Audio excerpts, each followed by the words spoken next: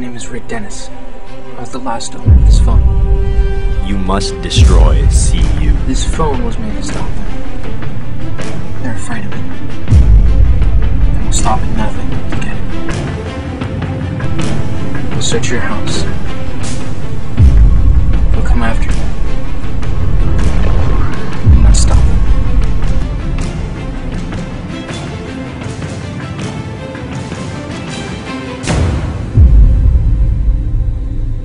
accept this, you may die.